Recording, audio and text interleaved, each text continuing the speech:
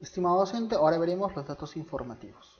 En el cronograma académico encontraremos ya publicado el cronograma respectivo del periodo actual. Podemos verificar las fechas y programaciones respectivas. En presentación docente tendremos que crear nuestro contacto. Crear contacto.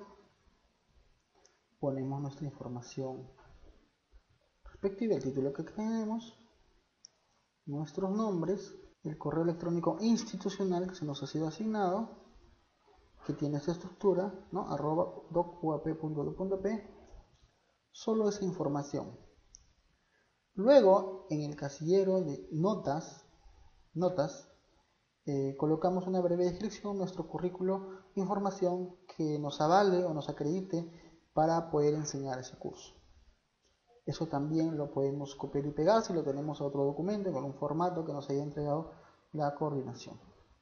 En mi caso yo voy a usar este ejemplo de Word, ya lo tengo copiado, simplemente lo voy a pasar.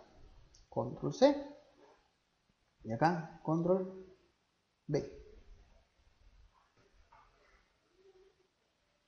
En opciones, establecer el perfil como disponible, le ponemos que sí. Si lo dejamos como no, eh, nadie lo va a ver, debe estar en sí. En imagen actual no hay imagen, debemos adjuntar una imagen, examinamos una imagen.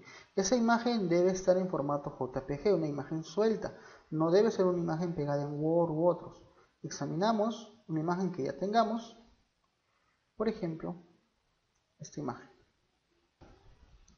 Le ponemos a abrir, está en JPG, y luego le damos clic en enviar.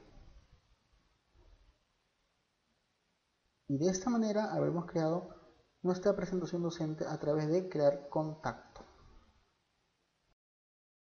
Seguidamente veremos cómo implementar presentación del curso.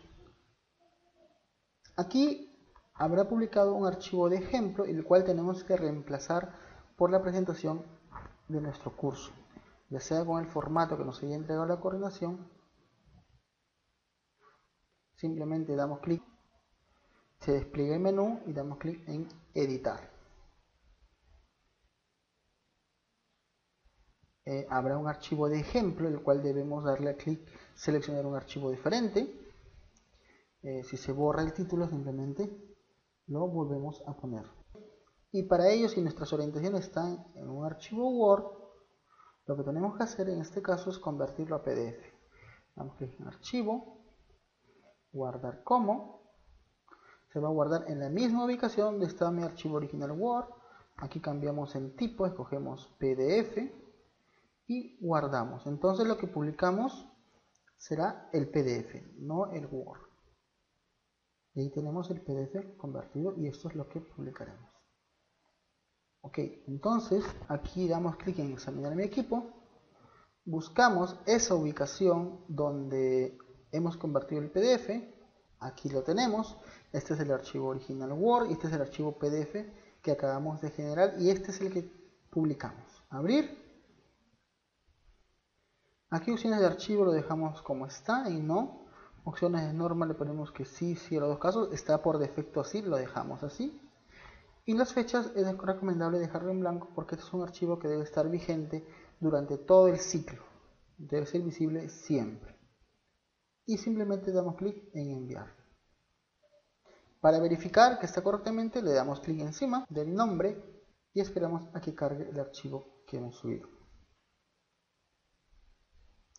Y ya está, de esta manera hemos implementado los datos informativos.